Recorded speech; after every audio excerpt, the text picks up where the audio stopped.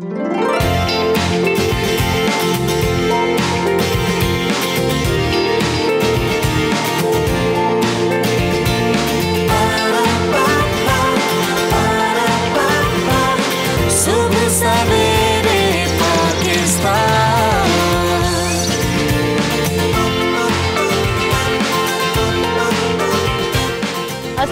नाजीन, आप देख रहे हैं सुबह सवेरे पाकिस्तान। मैं हूँ आपके मेज़बान Ramsha Kanwal.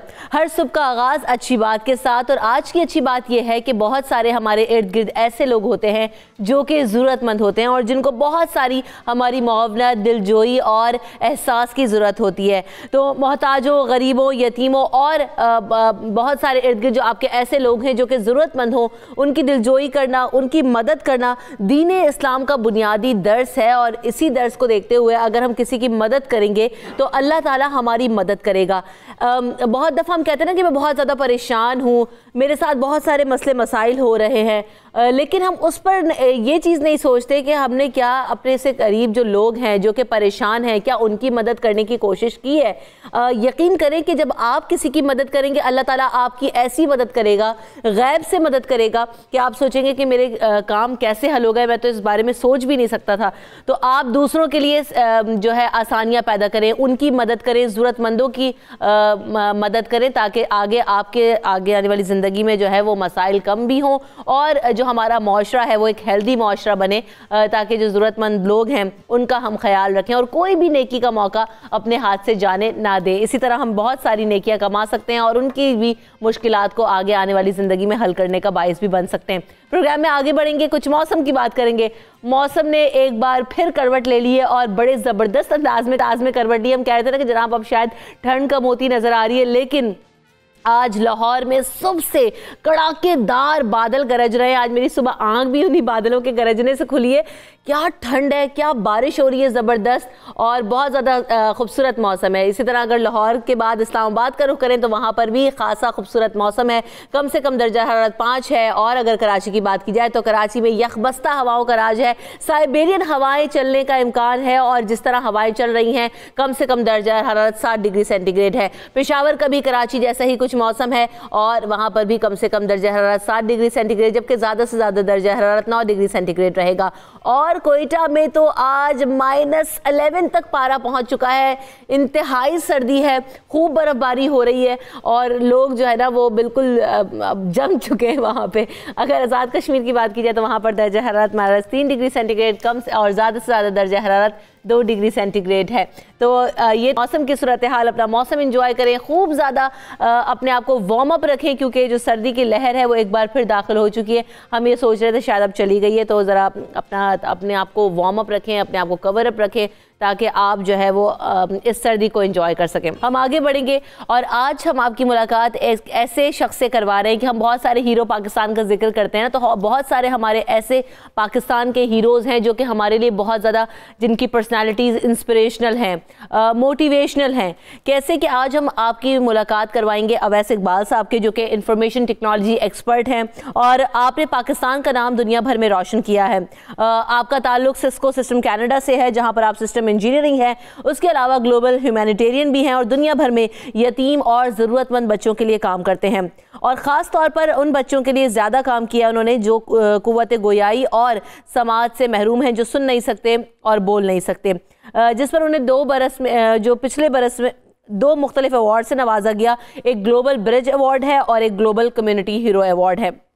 Social media blogger भी हैं कैनेडियन टीवी पर होस्ट भी करते हैं एक प्रोग्राम और दुनिया भर में पाकिस्तान की नुमाइंदगी करके पाकिस्तान का जो मस्बत चेहरा है वो आ, आ, सामने लाने में अहम किरदार अदा कर रहे हैं। आज हम उनसे बात करेंगे उनकी कामयाबियों पर उनके जो जो मोटिवेशन उनको मिली किस तरीके से उन्होंने काम किया और फिर ये कहा जाता है कि बहुत सारे लोग कि पाकिस्तान से जो इस तरह के लोग हैं वो बाहर चले जाते हैं तो ब्रेन ड्रेन हो जाता है। आ, लेकिन ये भी बहुत ज़रूरी है कि जिस तरह का काम वो कर रहे हैं और जहाँ रहते हुए कर रहे हैं वहाँ पर पाकिस्तान की आइडेंटिटी को भी बिल्ड कर रहे हैं। तो ऐसे बहुत सारे इकदाम हैं जिन पर हम बात करेंगे। अवैस इकबाल साहब को अपने शो में वेलकम करते हैं। अस्सलाम वालेकुम कैसे हैं वेलकम टू द शो और आप जैसी पर्सनालिटी जैसे जब हम हीरो पाकिस्तान का ज़िक्र करते हैं ना तो हम कहते हैं कि जनाब ये इंस्पिरेशनल पर्सनालिटीज़ जब तक हमारे मुल्क में हैं हम्म। और पाकिस्तान के लिए काम कर रहे हैं पाकिस्तान इसी तरह तरक्की करता रहेगा। अब वैसे इकबाल साहब एक तो आपको बहुत बहुत मुबारकबाद आपने ग्लोबल अवार्ड्स लिए। ये सफ़र कैसे शुरू हुआ आपका? देखिए मुझे इस जून में कनाडा गए हुए बीस साल हो जाएँगे। तो 20 सालों में अपनी नौकरी के साथ साथ हमेशा अल्लाह ने मौका दिया कि घर आके दरवाज़ा बंद करके बैठ तो हर कोई सकता है। लेकिन लाइफ को मैक्सिमाइज़ करना अगर अल्लाह ने आपको कोई स्किल्स दी हैं या पैसा दिया है या वक्त से नवाजा है तो उसको आप दूसरों के भले में कैसे बरुए कार ला सकते हैं? तो ये सफ़र अठारह बीस साल का सफ़र है जो अब इस हवाले से उसकी रिकग्निशन है और ये रिकग्निशन उन बच्चों के हवाले से है कि जिनको हमें को हमें अल्लाह ने सर्व करने का मौका दिया। तो ये सिलसिला जो है वो 18-20 सालों से जारी है। ये जो आपने प्रोग्राम का आगाज़ किया डेफ रीच के नाम से ये क्या प्रोग्राम है और इसमें आपके मोबिन कौन कौन लोग हैं? किस तरह से आप इस प्रोग्राम को रन करते हैं? देखिए बड़ी कमाल स्टोरी है और अल्लाह जिससे चाहे काम ले ले। तकरीबन तीस साल पहले एक फ्रेंच कैनेडियन डैनियल मार्क और रिचर्ड और उनकी बीवी हेडी वो न्यूयॉर्क से पाकिस्तान मूव हुए और वो डेफ बच्चों की खिदमत करने के लिए मूव हुई। ये वो ज़माना था जिस ज़माने में मैं और बहुत सारे लोग अपना करियर और फ्यूचर बनाने के लिए पाकिस्तान से बाहर निकल रहे थे। लेकिन अल्लाह ने उनको हमारे मुल्क में भेजा। उन्होंने यहाँ पे आके जो है वो डेफ रीच के नाम से इदारा कायम किया डेफ बच्चों की तालीम का। अब सालाना 1200 बच्चे मुख्तलिफ़ स्कूलों से पढ़ के निकलते हैं कराची जो है वो सखर नवाब शाह हैदराबाद हम्म। जेलम अब लाहौर में हमारा कैंपस बनने जा रहा है। हम्म। और न सिर्फ़ तालीम बल्कि उन डेफ बच्चों को जो है वो स्किल्स भी दी जाती हैं। कराची में सात के हैं जो डेफ रन हैं।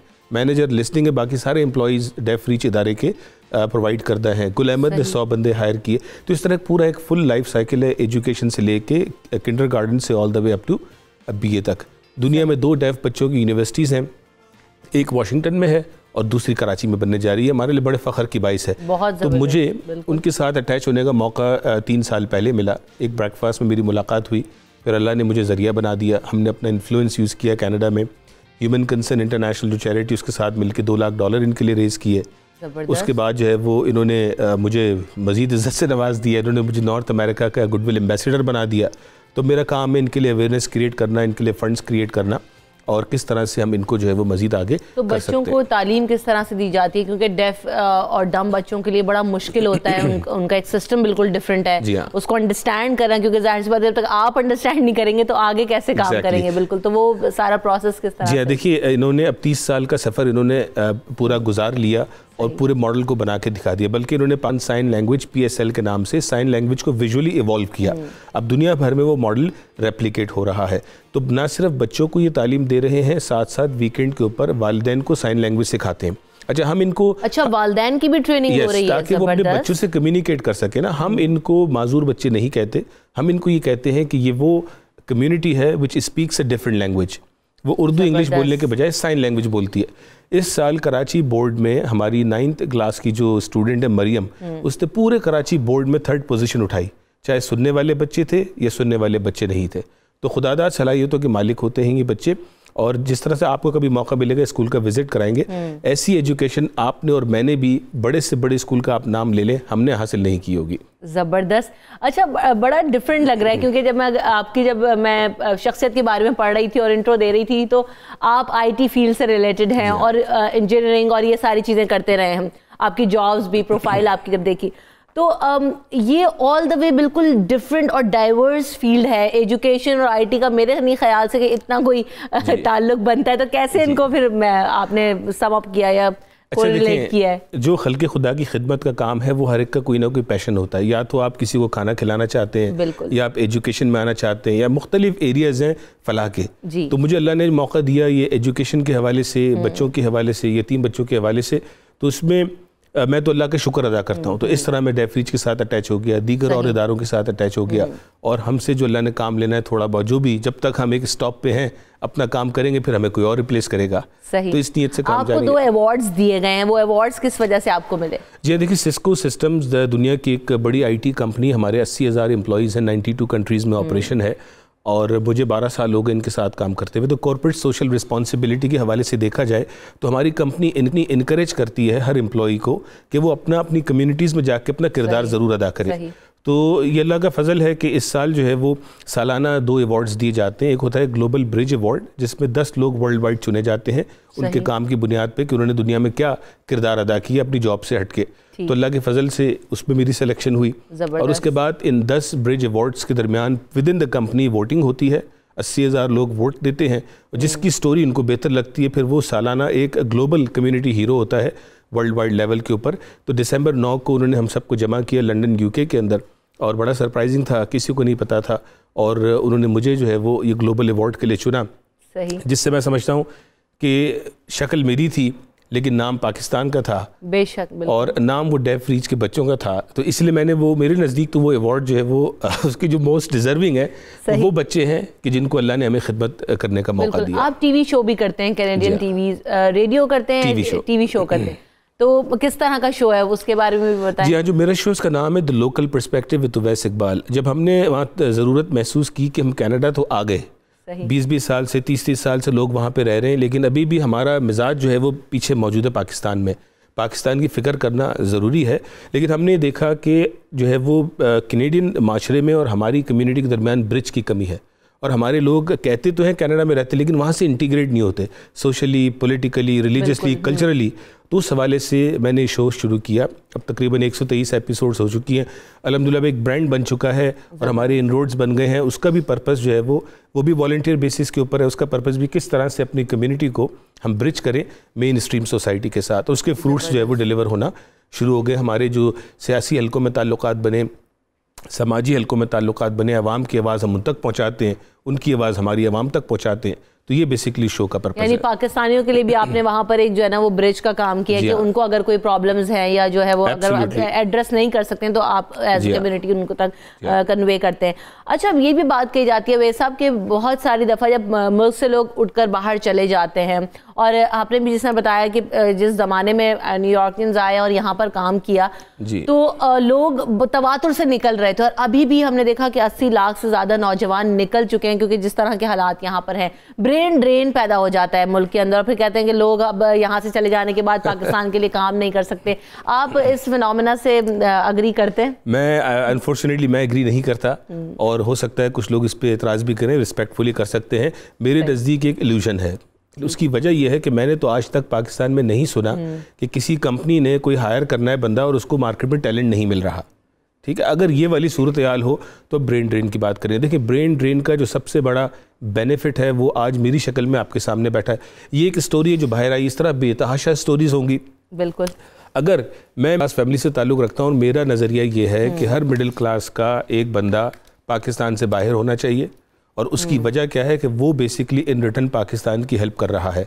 चाहे वो पीछे अपनी फैमिली को सपोर्ट कर रहा है उनकी एजुकेशन को सपोर्ट कर रहा है या उनको बाहर निकालने का ज़रिया बनता है क्योंकि हमारे पास इतने लोग हैं और I believe in making space for others जब मैं यहाँ पे बड़े सक्सेसफुल मेरी जॉब थी कराची लाहौर इस्लामाबाद मेरा टीचिंग प्रोफेशन से यहाँ पे भी ताल्लुक था। सही। तो जब मैं निकला तो ज़ाहिर सी बात है मेरे पीछे किसी और की जगह बनी।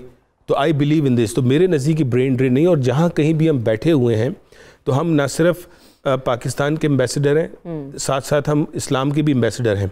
तो अब जब सिस्को कंपनी में डेफ रीच का नाम आया या मेरा नाम आया तो मेरे नाम के ज़रिए पाकिस्तान का नाम आया।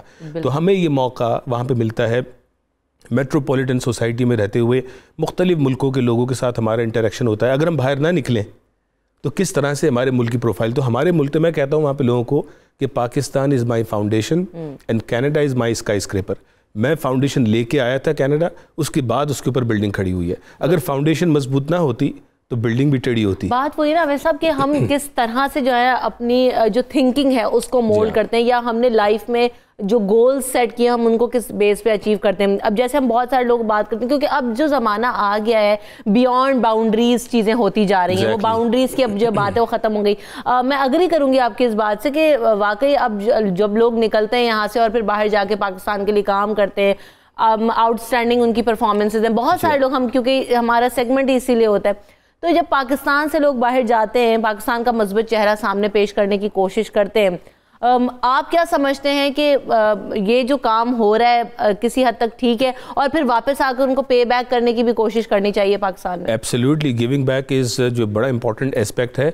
कि हमारा पाकिस्तान पाकिस्तान का हमारे ऊपर कर्ज है जो शायद हम कभी भी नहीं उतार सकते और ये कोई कह नहीं सकता कि मैंने कर्ज उतार दिया। लेकिन ये कि कोशिश ज़रूर करनी चाहिए। हम्म। अब वहाँ पे हम बहुत सारे लोकल कॉजेज़ में भी इन्वॉल्व होते हैं। पिछले महीने मुझे मौका मिला रोहिंग्या कैंप्स बांग्लादेश का विज़िट करने का उससे पहले तुर्की सीरिया का उससे पहले पाकिस्तान का तो हर एस्पेक्ट में काम होता है। तो मैं अपने सुनने वालों को देखने वालों को हमेशा यही इंकरेज करता हूँ कि भाई थोड़ा बहुत भी करें। और अगरचे कि हम किसी बड़े स्टेज पे काम नहीं कर सकते तो अगर इतना सा काम कर लें मुझ समेत मैं बात कर रहा हूँ कि अगर हम अपने करीबी रिश्तेदारों की जो है वो उनकी खबरगिरी कर लें और उनकी अगर हम जो है वो सपोर्ट का बाइस बन जाएँ तो मैं समझता हूँ कि ये भी एक बहुत बड़ा गिव बैक का एक ज़रिया होगा कि बाहर रह के आप अपने करीबी रिश्तेदारों को ही सपोर्ट कर दीजिए जी आप पाकिस्तान जब भी आते हैं और ज़ाहिर सी बात है कि सोसाइटी से आपका इंटरेक्शन ख़त्म तो नहीं हो सकता हाँ। पाकिस्तान से आपका इंटरेक्शन ख़त्म नहीं हो सकता इंफॉर्मेशन um, टेक्नोलॉजी के हवाले से पाकिस्तान को इस वक्त कहाँ रेट करते हैं और कितना पोटेंशियल आप देख रहे हैं पाकिस्तान के अंदर? कितना काम आगे हो सकता है या हो रहा है? देखिए काम ज़रूर हो रहा है और बहुत सारी अच्छी खबरें भी आती हैं लेकिन अभी भी जिस चीज़ की कमी मुझे नज़र आती है वो है प्रोफेशनलिज्म आज भी वहाँ से हम अगर यहाँ की कंपनियों को लिंक कराने की बात करते हैं है। तो वो हमारा थोड़ा सा जो रिलैक्स माइंड सेट है ना वो हमारे लिए रस्ते की रुकावट है। बाहर जो है वो जैसे रिचर्ड और डैनियल की मैंने एग्ज़ाम्पल दी वो पाकिस्तान में आगे चुके वो बाहर से आए थे उन्होंने 28 साल में जब कभी आप स्कूल देखेंगी आप कहेंगे कमाल हो गया। कि वो 28 साल पाकिस्तानियों में रहने के बाद भी उन्होंने हाई हम्म। प्रोफेशनलिज्म को जो है वो बरकरार रखा। तो काम हो रहा है लेकिन प्रोफेशनलिज्म और वादे की पासदारी अकाउंटेबिलिटी उन चीज़ों को मेरे ख्याल से भी थोड़ी सी ग्रोथ चाहिए। अब आप क्योंकि बहुत बड़ी मोटिवेशन है बहुत बड़ी इंस्पिरेशन है लोगों के लिए कि जिस तरह क्योंकि बहुत सारे लोग मुल्क से बाहर जाते हैं तो उनका मकसद सिर्फ़ ये होता है कि उन्होंने पैसा कमाना है या यहाँ पर अपनी फैमिली को सपोर्ट करना है या education which is not bad ठीक है। लेकिन आउट um, स्टैंड करना है जैसे आपने बिल्कुल अपने आगाज़ में बात की थी। आप अपनी ने, अभी जो नेक्स्ट जनरेशन जो प्लान कर रहे हैं बच्चे पढ़ने जाने के लिए या अपना प्रोफेशन आगे कंटिन्यू करने के लिए उनको क्या पैगाम देंगे कि आप ना सिर्फ़ अपने प्रोफेशन के साथ या अपनी स्टडी के साथ किस तरह आगे जाके अपनी सोसाइटी में पाकिस्तान का नाम रोशन कर सकते हैं अपनी पर्सनैलिटी को आउटस्टैंड कर सकते हैं। देखिए मैं तो ये जो मैसेज अपने स्टूडेंट्स और बच्चों को देता हूँ वही यहाँ पर दूँगा कि सबसे पहली बात तो ये कि ऐसे प्रोफेशन को चुने कि जिसमें आप अपने बियॉन्ड भी सोच सकें। कुछ प्रोफेशन ऐसे हैं जिसमें आप शायद किसी का भलाई ना कर सकें। अगर आपका प्रोफेशन किसी के भलाई का बाइस बनता है तो ये तो डबल डबल हो गया। अगर ऐसा नहीं तो अपने अंदर होता है कुछ लोग जो है वो ये पैशन लेके आते हैं। और कुछ लोगों को पैशन डेवलप करना पड़ता है।